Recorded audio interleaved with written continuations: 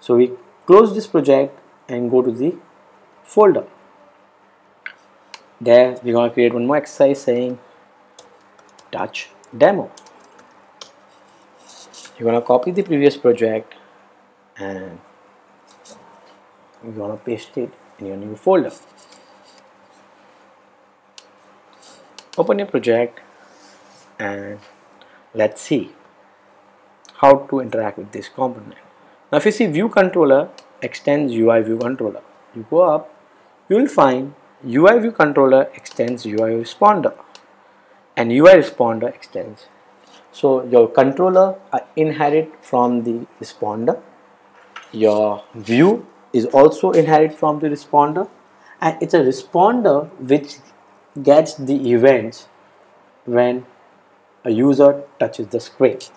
And those callback events are registered by this method. So being a derived class of a UI responder view controller class can override this method. So let's override these three methods called touches began touches ended and touches move. I copy them. I directly place them in my .m because they are already declared by my base class. So before we start writing any code, we'll first write the ns logs and try to understand the flow. So I'm gonna write ns log. Touches began. Ns log. Touches moved.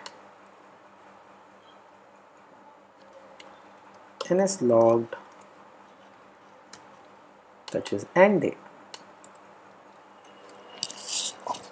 Now let's run this application and try to investigate the logs. Okay, so when I touch the screen, I get touches began. When I lift my mouse, I get touches ended. So every began has uh, ended. When I touch, drag my mouse on the screen and lift so there are two patterns which I observe. When you do a click type event, it touches began, touches ended. When you have to drag, the event is began, n number of time moved, and then ended. So every began will have a corresponding ended event. Move event are not guaranteed. It can be 0 or n depending upon the dragging of your finger. Cool. So we understood the pattern. Now if you notice it gives you set of touch objects so whenever you user touch the screen and UI touch object gets created. Now UI touch object right? Now being a multi-touch environment the OS might give you more than one touch object depending upon number of finger touch on the screen. So for the iPhone there are five touches possible and for the iPad there are 10 touches allowed. Now it uses NS set not NS array. It might be because you want only the exclusive touch. You don't want a touch object to get repeated. So NS set data structure gives you the guarantee that boss it will be only exclusive touch. Now we are demonstrating single touch event. So I want to extract UI touch object from the touch touches right so I use touches any object.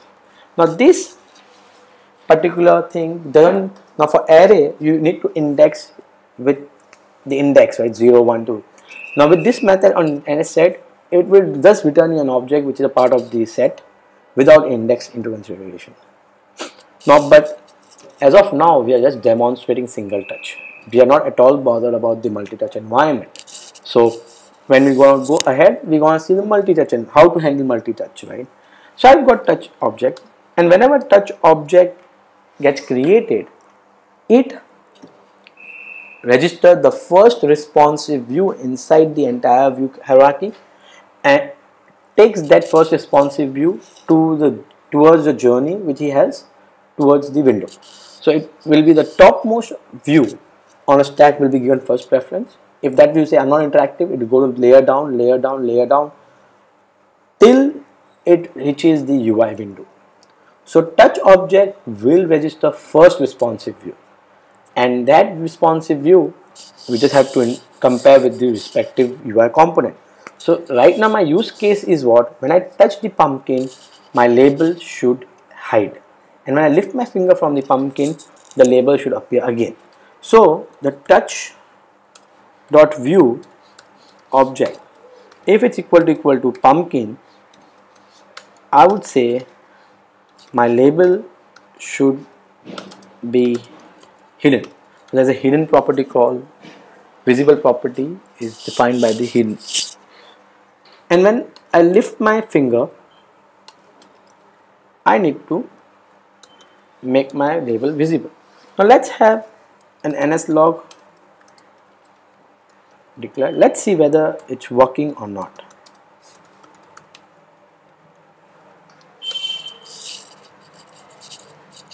So I touch pumpkin, nothing happened. Touches began and touches ended gets called. But pumpkin touch is not executed. So let's discuss the scenarios where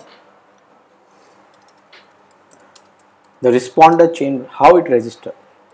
So as we told it will not register, the touch will register first responsive view. By default, all response, all labels or image view are interactive disabled. So in order to register, first thing, view should be visible. By default, hidden property is no, so it's visible. Second, the view object should be interactive enable. So by default pumpkin is interactive disabled. So I say pumpkin dot user interaction enable equal to yes. Now let's run it. Oh wow, it executed, right? Perfect. So whichever UI component you want to make it interactive, you have to set its user interaction enabled property to yes or true. Now there are few more points one has to consider when it comes to responder chain uh, pattern. Parent view needs to be interactive. Now to demonstrate this, let's see the pumpkin parent view is who? Self.view. If we set its user interaction property to no, what happens? Oh wow, touches began, touches ended also not getting called. That means if parent view is disabled, no matter if your parent child view is enabled or disabled.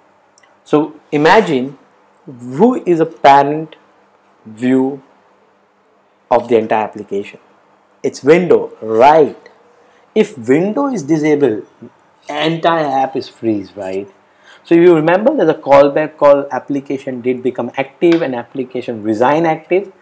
Those callbacks are triggered by the OS when a window of your application is interactive active that time did become active gets called and when a window become disabled or I would say interactive disabled resign active gets called.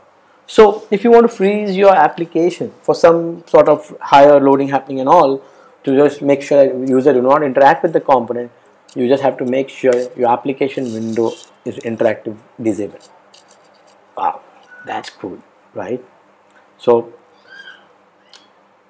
by default user interaction of the controller's view is enabled. And the fourth point is very interesting